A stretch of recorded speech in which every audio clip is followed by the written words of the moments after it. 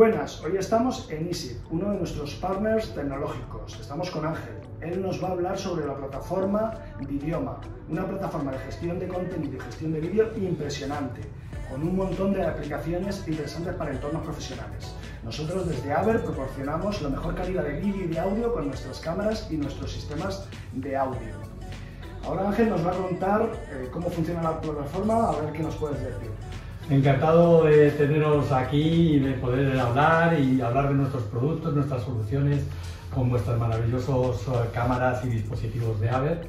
Vamos a integrarlos dentro de Vidioma como una plataforma de gestión de contenidos para mostrárselo a todo el mundo. Genial, pues vamos a verlo en funcionamiento ahora mismo.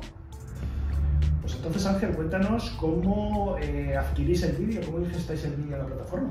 Ah, pues es bastante sencillo. Os voy a enseñar qué es la parte que tenemos nosotros de cómo capturamos el contenido.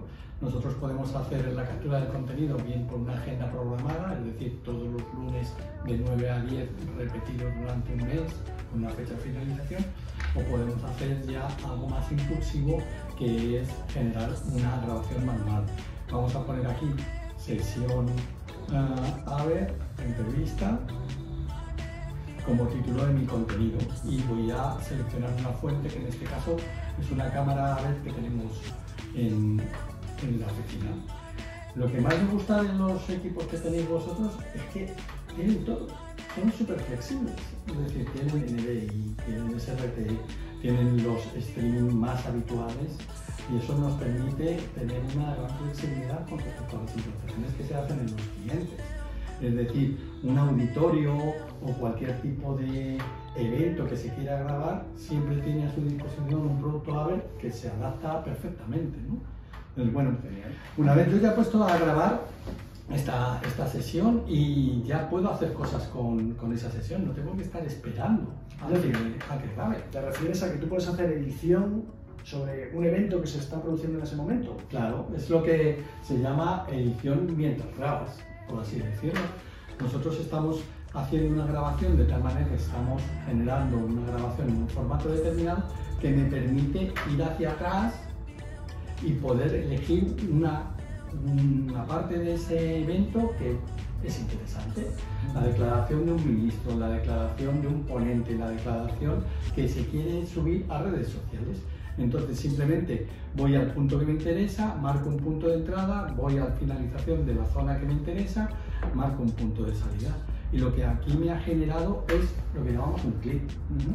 Hasta ahora solamente he dicho que me interesa desde este, desde este punto a este punto, no he generado contenido. Y mientras tanto la grabación continúa, ¿no? Claro, efectivamente. Y aquí lo que quiero ahora es decir, ese trocito que me interesa, donde alguien ha dicho algo interesante y me lo quiero llevar a las redes sociales, puedo marcarlo y decir, oye, transcodifícamelo. ¿Y por qué transcodificar? Porque lo puedo sacar en formatos que pueden ser para un uso específico yo puedo coger y guardar a disco en los formatos que mi plataforma me permite, que son todos, básicamente, a los cuales yo elijo unos cuantos por facilidad de usuario.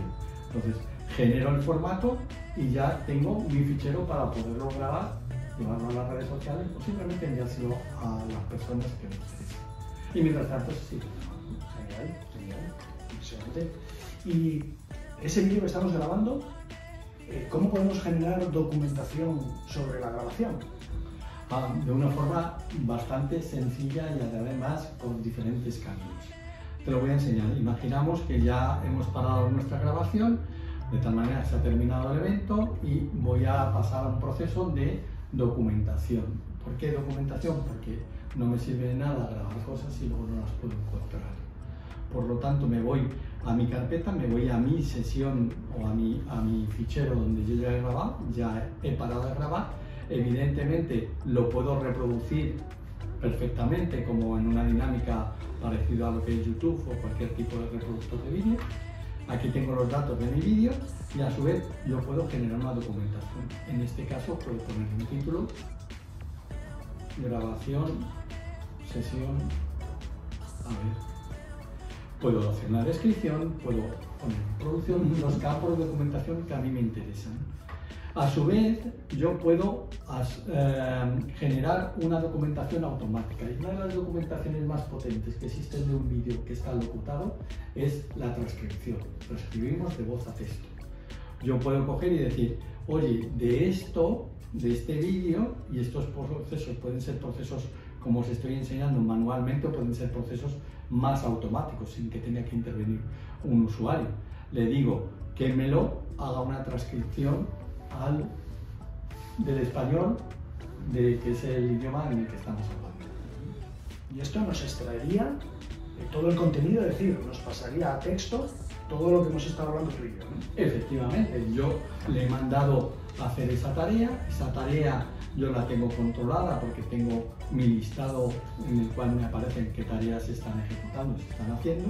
Cuando el sistema me permite eh, ver el estado si hay un error o, o marcar prioridades para priorizar una sobre otra y pasado el tiempo correspondiente en el cual la tarea se hace, pues nos aparecerá en la parte de minutado. Pues en cuanto termina la tarea esta de transcripción, que es una transcripción automática que dura pocos minutos, es decir, eh, tardamos nada, en cinco minutos está cualquier tipo de proceso de este tipo hecho, puedo ya acceder a mi minutado, que es como llamamos nosotros. Y aquí aparece lo que tú y yo estamos hablando. Puedo ponerle en reproducción y este texto va síncrono al vídeo, claro, de tal manera que Ah, podemos aprovechar las características que tenemos con la transcripción para poder hacer un subtitulado y poder hacer que las personas que tienen una discapacidad auditiva puedan estar ah, leyendo el subtítulo según se está generando ese contenido. Ya veo. Eh, lógicamente nosotros estábamos hablando en español, la transcripción es en español, los subtítulos son en español pero ¿se podría generar esa transcripción y esos subtítulos en otro idioma? Por supuesto, por supuesto. Nosotros aquí podemos ver que podemos darle muchas cosas con esto. Una de las cosas que podemos hacer es exportar el texto en diferentes formatos. Ah, me lo puedo llevar a un Adobe Premiere o simplemente puedo copiar y pegar ese texto. Además de eso, puedo enviarlo a traducir. Yo en este caso tengo dados de alta, el inglés, el catalán, árabe, francés, vasco, gallego, pero realmente es multilinguaje. A nivel de, lenguajes no hay mayor problema por traducir de unos idiomas a otros. Y por supuesto esa traducción la podemos aplicar a un formato de subtítulo. Y si queremos ese vídeo con el, con el subtítulo ya insertado dentro del vídeo, podemos utilizarlo y exportaremos el contenido de esa manera. Así es independiente del productor, de la plataforma y de Claro, claro, claro. Sí, señor. Ya, ya, ya veo. Y claro, veo todo el texto, veo todo, eh, entiendo que como todo está registrado y sincronizado, podríamos hacer una búsqueda por texto, ¿no? Pues, eso es lo más potente, es una de las cosas más potentes que existen. ¿Me enseñas? Evidentemente, lo importante de, de, la transcripción es poder acceder al contenido.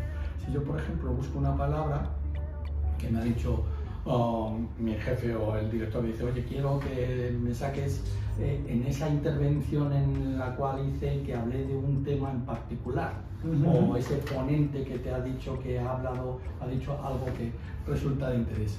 Por ejemplo, estoy, buscando la palabra consejo, el sistema inmediatamente me ha buscado en todos los campos de documentación y a su vez en la transcripción, independientemente del idioma en el que se haya dicho. Si lo puedes decir en inglés, también te lo va a traducir, buscar. Por lo tanto, yo puedo llegar aquí y ir al momento que me resulta uh, interesante y poder reproducir el contenido y vemos cómo vamos al código de tiempo donde aparece la palabra consejo en este caso. Genial. Es muy potente, es una herramienta sumamente potente. Increíble, increíble tiene una potencia impresionante, pero este tipo de solución es muy compleja de instalar eh, en el equipo del usuario o cómo funciona esto realmente. Bueno, como has visto en, en el interface, es un interface web. Tú puedes utilizar cualquiera de los navegadores. En, en, el usuario, el usuario no tiene que instalar absolutamente nada, simplemente con sus permisos de acceso, su uh, usuario password y accedes a toda la potencia de la plataforma. Nuestro sistema está securizado, absolutamente securizado en código, tiene autenticación de doble factor y, se instala en un servidor, ya sea en las instalaciones del cliente o bien, si el cliente desea que sea en la nube, pues en la nube. Tenemos las dos Genial. Genial, se me ocurren cantidad de aplicaciones con, esta plataforma. ¿Ha sido las aplicaciones más comunes eh, que veis? Bueno, muchos muchos se utiliza muchísimo en seguimiento de medios por, algunos clientes que quieren hacer en especial ah, información de qué es lo que aparece en, tanto en la televisión como en la radio, como en otros medios también ah, más modernos como redes sociales. Pero además de eso hay mucha grabación de eventos ya sea un pleno de un ayuntamiento, ya sea la junta de accionistas, ya sea una universidad donde se aparecen tanto en las clases normales como masterclass. Y todo lo más importante es que se queda de alguna manera organizado. Porque, ¿qué pasa? ¿Qué suele pasar en, un auditorio la persona responsable de la sala de control? Graban los eventos, se termina la grabación y se queda con ese fichero que no se sabe dónde lo tienes que poner. Evidentemente el vídeo ocupa mucho y al final es un problema. Entonces cuando le piden a ese señor de la sala de control dónde está la grabación que hicimos de este evento, uh, uh, uh, estoy muy ocupado ahora, muy ocupado, espérate, que es que no sé dónde lo he metido, es que lo he tenido que sacar a un disco duro porque no me cae. Y es un problema. Si no queréis pasar horas revisando vídeos al tuntún y queréis ir directamente al contenido, es simplemente escribir la palabra y, lo tenemos visto. Pues muchas gracias Ángel por tu tiempo y por enseñarnos todo, toda esta solución. La verdad que estoy, estoy muy, muy impresionado. Pues muchas gracias José y espero que tengamos la oportunidad de hacer muchísimas veces este tipo de instalaciones en los clientes porque van a vivir más felices. Seguro que sí. Muchas gracias. Gracias.